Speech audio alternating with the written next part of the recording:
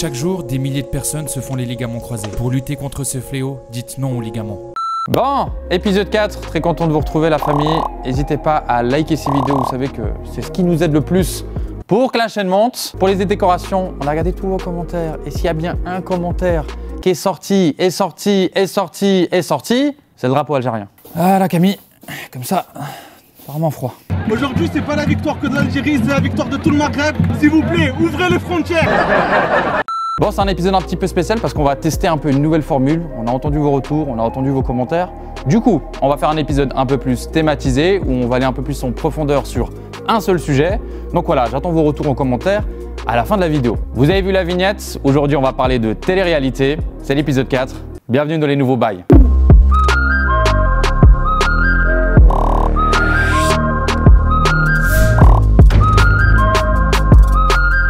Alors on va mettre tout de suite le point sur les La télé-réalité, c'est comme cette fameuse pâte à tartiner. On critique tous Mais frère, quand tu l'étales sur le pain bien chaud, là, il n'y a plus personne.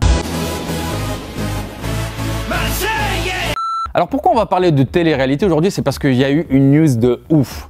Nabila, notre icône, celle qui nous guide vers la lumière, elle a accouché. Ah ben félicitations Soretta. Bah, ils peuvent avoir des enfants les stars de télé-réalité, ils sont humains comme nous. D'ailleurs peut-être que vous connaissez Julien et Manon Tanti, c'est un peu les Jay-Z et Beyoncé de la télé-réalité française. Bon, je passe pour la heureusement que j'étais au courant. T'as quand même conscience que là, je, je- je suis calme avec toi, que à la base, si tu t'as Eh ben eux, ils ont aussi un enfant. Il a un peu plus d'un an. Et cet enfant, je me suis renseigné. Et figurez-vous que euh, le petit bout de chou, il a Instagram et il a 700 000 abonnés. Faut que je casse un truc là. les femmes ont toujours raffolé des bad boys. Mais comment on en arrive là? Je veux dire, comment un enfant issu de la télé-réalité a 700 000 abonnés sur Instagram? Alors que t'attaquais. Euh...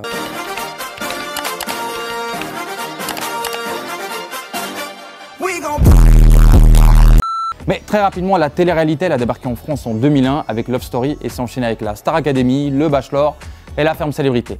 Alors depuis, les concepts, ils s'enchaînent, les gars, ils sont en roue libre. Dans la catégorie des émissions éclatées, on a Bridal Plasty, c'est des jeunes qui font de la chirurgie esthétique juste avant le jour de leur mariage.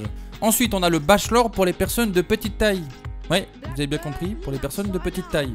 En France, on a eu Adam recherche Eve, ces deux inconnus qui se retrouvent à poil sur une île. Super Alors le concept de base de la télé-réalité, c'est de filmer la vraie vie d'anonymes ou de célébrités. En fait, je me demande pourquoi ça nous intéresse autant. Qu'est-ce qui nous fascine là-dedans? Du coup, on est allé à la rencontre d'un docteur de l'Université de Genève qui a fait une étude super intéressante sur le sujet. Du coup, docteur, est-ce que vous avez la réponse à cette question qui est pourquoi est-ce qu'on aime autant la télé-réalité? C'est simple, c'est parce qu'on est con. Ah, d'accord. Voilà. Mais on regarde tous la télé-réalité. Et je dis bien on parce que, mais alors, alors Colanta, mais je kiffe sa mère, je kiffe Colanta. Dédicace à Cyril. Eh, tu méritais de gagner cette saison, hein, c'est pas normal. Sur les poteaux, je suis sûr que t'aurais tenu de ouf. Paris Saint-Germain, attaquant de défense, Mathieu Charon. Mais pourquoi on regarde ces émissions au final? Moi, je pense, en tout cas personnellement, que euh, ça me réconforte, en fait, de voir des teubés toute la journée. Très teubés quand même. Le peintre, euh, ça se voit que c'est pas Mozart. Comment s'appellent les habitants de l'île de Madagascar? Les Indiens? Comment se prénomment les trois mages Au Galilée Faire de l'équitation, dis-moi que c'est ça. Si c'est ça, c'est bon, je suis trop heureuse. Non, on va faire du cheval, qu'est-ce que tu racontes? Si tu sais pas répondre à qui a pas la Joconde Bah, c'est la Joconde, non Vraiment Et le plus triste là-dedans, c'est les gens qui n'ont pas le recul. C'est les gens qui pensent qu'en fait, c'est la vraie vie. Mais non, est-ce que ta meuf t'a déjà dit Chérie, j'aimerais bien qu'on aille sur une île pendant 4 semaines et en fait, il y a plein de prétendants qui essaient de nous ken et comme ça, on teste notre couple. C'est pas la vraie vie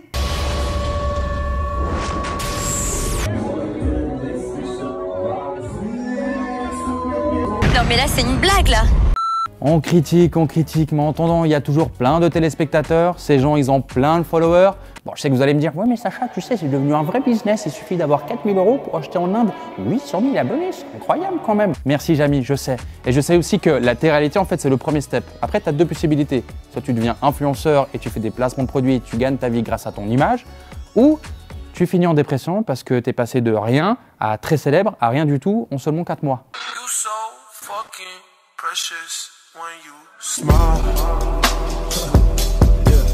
Et au final, je trouve que c'est assez représentatif de nous, la génération fast-food. Pourquoi je l'appelle comme ça C'est parce que même dans notre consommation, on est toujours fast life. Fast life. qui me gifle? Qui me gifle? Bon, quand je veux dire fast life, je veux dire en fait qu'on est une génération qui consomme ultra rapidement. Je veux dire, même dans la bouffe, on prend, on mange, on jette.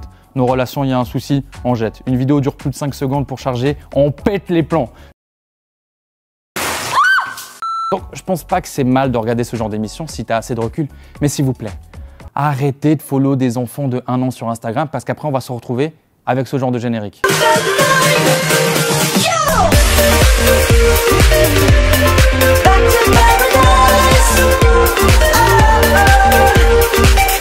Bon allez, comme d'habitude, pour conclure, 30 secondes pour vous donner un maximum de petits faits sur la télé-réalité. À la fin de chaque saison de Secret Story, tout le mobilier est en fait donné à des associations. Bah alors, elle est généreuse la voix. Dans les émissions de télé-réalité, les candidats ont un suivi psychologique. Et saut à tous mes psychologues qui vont voir eux-mêmes des psychologues. Ces psychologues vont voir eux-mêmes des psychologues, tellement qu'ils sont impactés, les gars.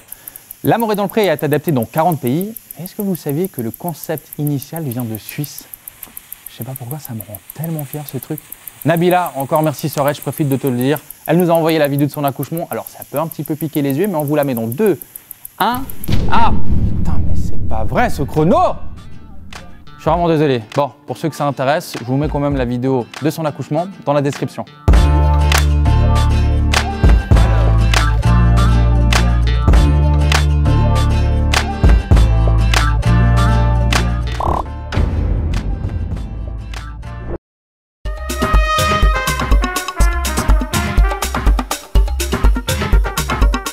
Ok, alors aujourd'hui, je vais vous parler de deux teams.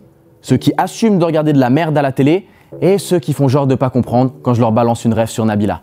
Ouais, Nico, je sais que tu sais de qui je parle. Hello, Kim Kardashian White?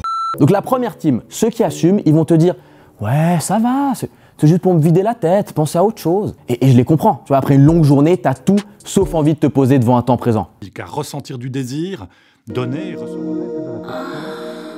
Bon, on va pas se mentir, mais quand tu te poses devant un épisode des Marseillais vs le reste du monde, ah, t'as l'impression d'avoir le QI d'Einstein. Même moi, j'ai ce petit sentiment de supériorité.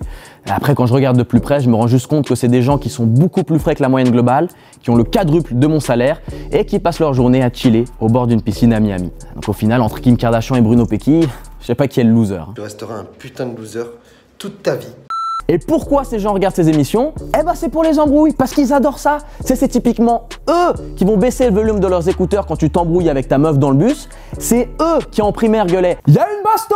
Et c'est eux qui vont supprimer leur photo de couple sur Insta 10 minutes après s'être fait larguer. Il n'existe plus, c'est simple, j'ai supprimé toutes ces photos sur mon Insta, voilà, pouf Et là, en face, t'as la deuxième team. Ceux qui vont dire que les émissions genre TPMP, Les Anges, Plus belle la vie, c'est de la télé poubelle.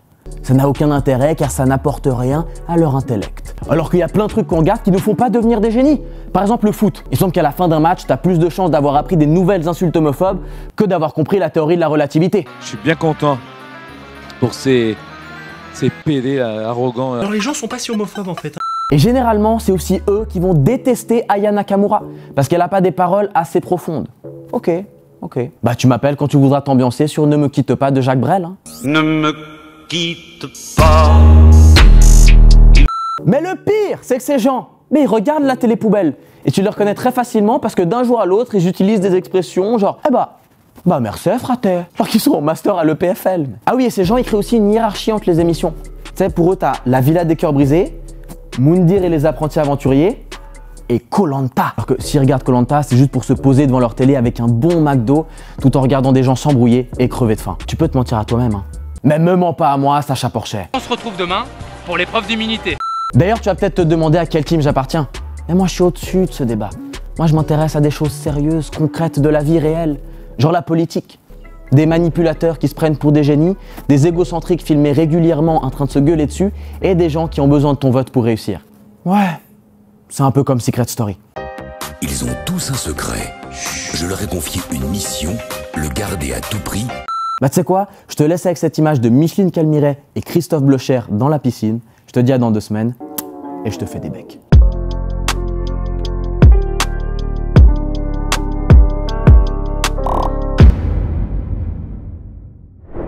Bah salut Astrid. Salut. Ça te fait trop plaisir que tu sois là parce que cet épisode, on a parlé de la télé-réalité, des clichés qu'on pouvait avoir, euh, de ce qu'on entend dans les médias, du public. Et du coup, toi, tu es là, donc on va pouvoir discuter un peu de comment ça se passe euh, à l'intérieur du truc. Ouais. Comment toi t'as débarqué dans la télé-réalité?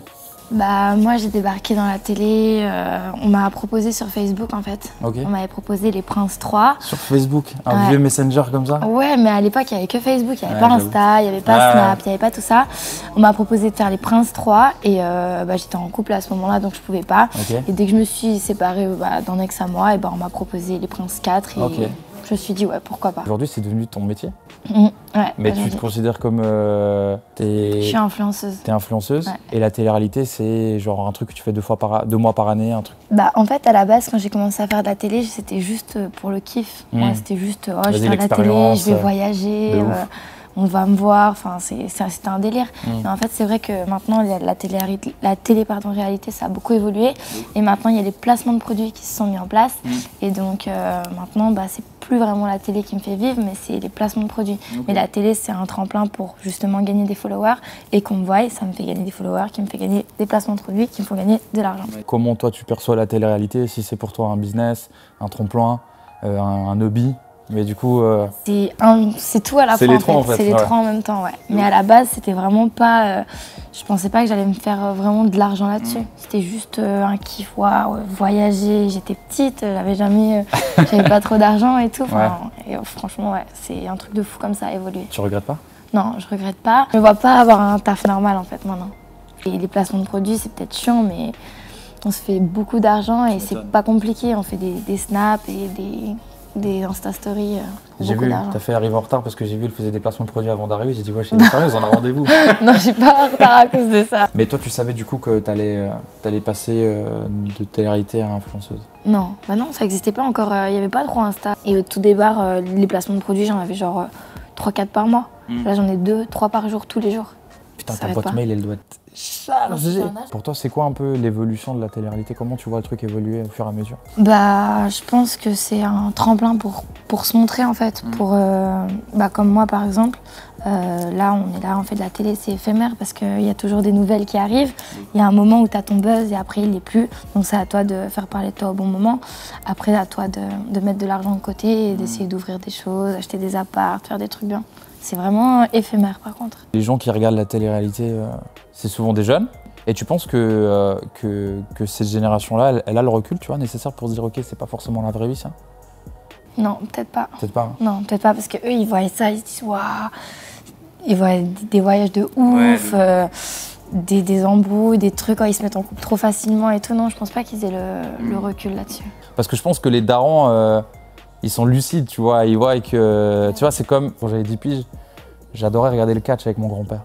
Tu vois Mais le catch, euh, c'est fake. Et je pense que la, la télé-réalité, c'est à peu près le même délire. Si tu arrives à le regarder avec, avec du recul et de façon encadrée, c'est pas. Mais quand t'as un enfant, t'arrives pas à te dire euh, ouais, ça c'est vrai, ça c'est. Parce qu'en plus, par exemple, dans la télé, un truc tout simple, les gens ils se mettent en couple. Tu fais un bisou, un smack, t'es en couple. Alors que dans la vraie vie, c'est pas comme ça. Tu mets des mois avant de, de te mettre en couple et puis t'es dans une aventure où tout va bien, t'es dans un pays waouh, trop stylé. Mhm. Tandis que dans la vraie vie, déjà vous habitez pas au même endroit. T'es dans une bulle en fait. Notre travail c'est un peu une bulle où tout se passe bien, mais dès qu'on rentre, c'est plus pareil. Et du coup, c'est quoi un peu la relation que tu as avec ton public, toi?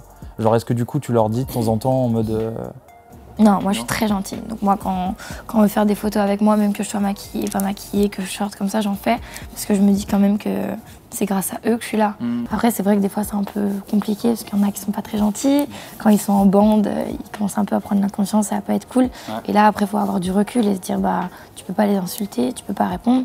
Donc là j'accepte mon sort et je fais la victime et j'essaye de partir. Et tu. Là tu peux rien faire. Pour moi, je te donne ma perception rapide. Moi, là, tu vois, la, la télé-réalité, euh, je suis pas un consommateur de ouf. Pour moi, il- pour, pour moi vous êtes. euh, quoi, ceux qui font cette télé-réalité, c'est limite des acteurs. Tu vois ce que je veux dire? Je sais pas si tu vois un peu comme ça, toi aussi. Ouais, bah, le truc c'est que pour, euh, pour que la télé elle soit regardée, si par exemple toi et moi on fait de la télé et Ouais. qu'on est potes et que tout se passe bien, Pas gaulerie. C'est pas drôle. Donc euh, en fait, on n'a pas des scripts comme on nous demande, oui, t'as ça, tu dois faire ça, tu dois te mettre en couple avec un tel. Non, on n'a pas de trucs comme ça, ça c'est faux. Mais on sait très bien qu'on est dans une télé-réalité et que le public, on sait bien ce qu'ils aiment. Ils aiment les histoires d'amour, ils aiment un peu les disputes, ils aiment les clashs, voilà, tout ça. Mais toi, tu fais la part de genre quand tu finis l'émission, tu finis le tournage? Du coup, dans la vraie vie, t'es aussi un peu comme ah ça. ouais, du non, coup non, moi j'ai pas, j'ai ma vraie vie et la télé c'est rien à voir. Même les gens que, que je côtoie dans la télé, c'est c'est des amis à moi. Je les aime bien, mais en général je traîne pas avec eux. Ah ouais J'ai vraiment mes vrais En fait, c'est le potes. taf, quoi. Ouais, c'est le taf. C'est comme un taf normal. Moi, j'ai mes potes depuis longtemps, je traîne qu'avec eux, donc. euh, En- Encore aujourd'hui, même après les Ouais, Ah c'est les mêmes. J'ai toujours les mêmes potes et j'ai pas pas, changé. changé. Non, Ça bouge pas. non, ça bouge. Hop.